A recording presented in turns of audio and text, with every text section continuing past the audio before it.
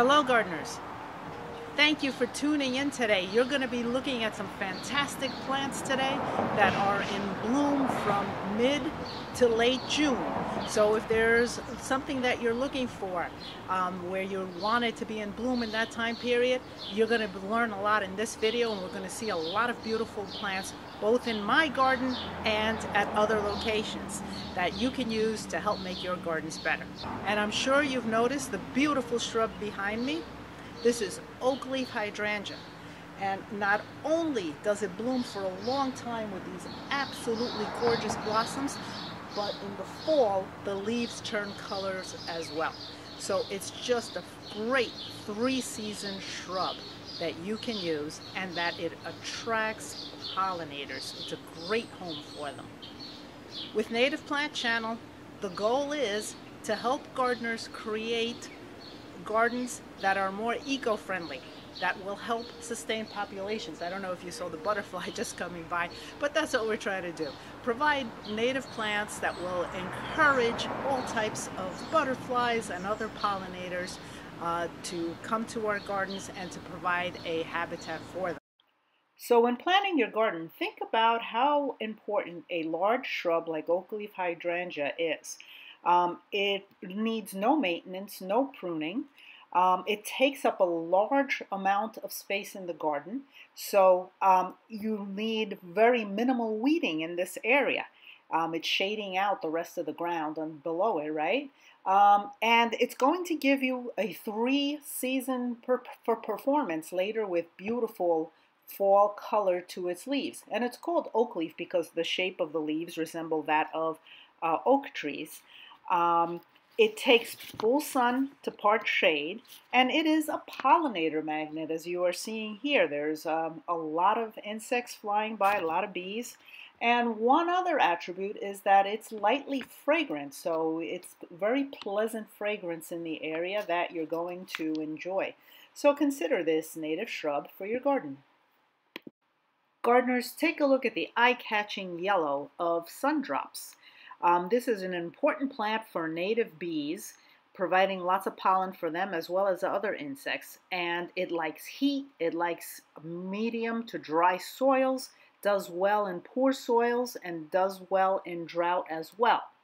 Now, it's got a fascinating history where it's been used for everything from making dyes to medicines. And another interesting thing is that its scientific name, Oenothera, um, refers to a plant, comes from the Greek, which refers to a plant whose roots, when soaked in wine, would have allowed people to tame wild beasts. Makes you wonder what they were doing, right? And Native Americans used it to rub on their moccasins in before hunting in order to mask the smells, in order to be able to get closer to the animals they were hunting. You might be familiar with Baptisia or blue false indigo. This is its relative, white wild indigo. Um, it is important to many pollinators, is the larval food plant for several skippers, and is native in several areas of New York, although for some reason it skips other Northeast states. And uh, for those of you who might have cows, it contains a toxin that is known to be fatal to cows but uh, a lovely plant with uh, dark grayish stems. Here you are looking at American smoke bush.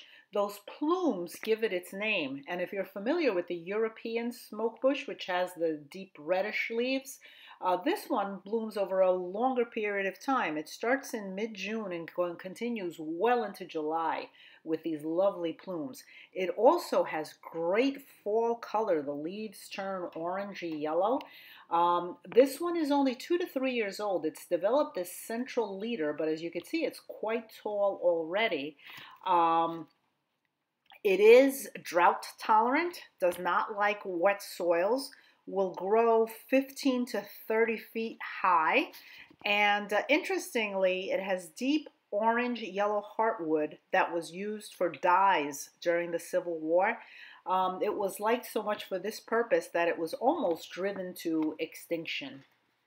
Although it's native from Tennessee on south, it is actually hardy to zone 4. Using native plants is the best way that we as individual gardeners can help improve our ecosystems. There is so much that we can do to help our butterflies, our bees, and our many other pollinators, which in turn helps our birds, who are also declining in population along with our insects. You really don't need a large space to create a native plant garden. You don't need a large space in order to help improve our ecosystem. And the more gardeners that take just a small section of their property and convert it from lawn to native plants, the better off our world will be. The plant that you're looking at now with the fine grayish leaves is Pearly Everlasting, which is obviously not in bloom yet. It will bloom with white flowers in a few weeks. Um, however, I'm showing it to you because if you take a look at the tips, you're going to see some wear and tear on the tips. This is what's so great about this plant. It is the host plant for the American lady butterfly. And uh, basically what you're seeing is caterpillars that are hiding in there and growing in the pearly everlasting, which grows in full sun, is an easy perennial to grow, and uh, will have pretty white flowers that are also used in dried flower arrangements. Here is bush honeysuckle that was planted uh, just a few weeks ago and it is now blooming. Lovely little yellow flowers and these have been attracting um, a number of pollinators and uh, this shrub will also change colors in fall. The leaves will look gorgeous in fall. When I started gardening many years ago, I started gardening to grow some vegetables and to grow some pretty flowers. But then over the so many years, my knowledge has evolved and I became much more interested in butterflies and attracting butterflies to my garden. And I began learning so much more about native plants and why we should be using them in our garden. So over the years, I've been transferring over to native plants where now pretty much almost everything I buy is native. So my garden is not 100% native. It's probably about 80% native and growing as I buy new items. Um, however, there are some items that are not native that will be remaining in my garden. For example, there are some sentimental plants. Um, I have a peony that an aunt of mine gave me many years ago and she passed away um, she passed away many years ago but I always intend to have her peonies with me so um, I will never be 100% native. However, 80% and I'm creating fantastic habitat for our uh, pollinators. Feverfew is one of the non-native plants that I have and the reason for that is it's excellent at attracting pollinators as you see here with this hair streak butterfly. I'm not sure which of the hair streaks this is. And uh, feverfew is also very deer tolerant which is a big problem for me. The plants that you're going to see now are not located in my garden, but in nearby areas and other gardens. However, they are plants that bloom from mid-June until the end of June and even into July. I'm starting here with common milkweed, and most people are familiar with the importance of milkweed to the monarch butterfly. However, a study has shown that milkweed is important not only for monarch butterflies, but helps support 147 different species of insects. So it's an extremely valuable perennial for our wildlife. So think about putting some in your garden and how you will be creating a great habitat.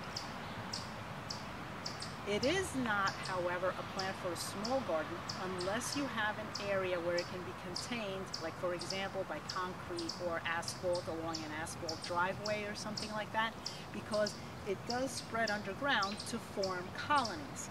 So it's a little difficult if you have a small garden and there are other plants you want to grow, um, it's a bit difficult to contain it.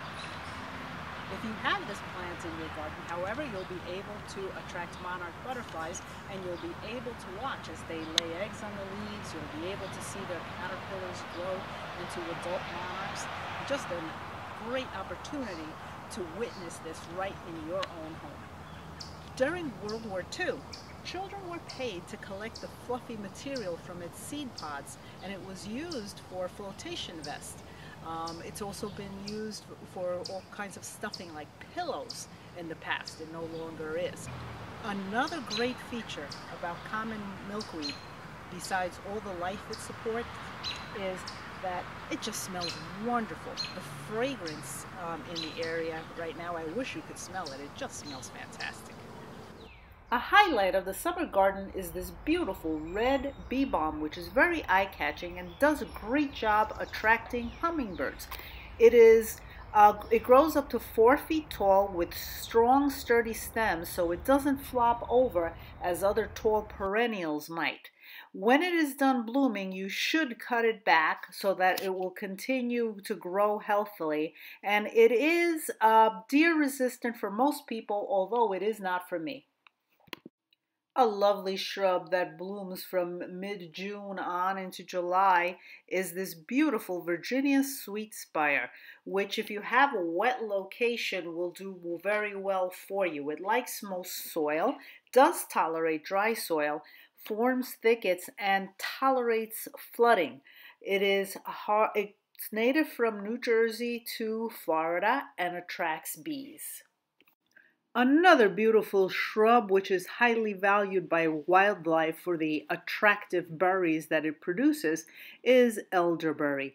It grows 5 to 12 feet high and wide in full sun to part shade. Unfortunately, the deer like it too. I really appreciate everything you are doing to create a better ecosystem right in your garden. And it's just something that you will enjoy um, you will be contributing rather than causing harm, you are contributing to making a better world. And I appreciate what you're doing. So please um, appreciate what you are doing yourself and continue to learn and continue to add more native plants.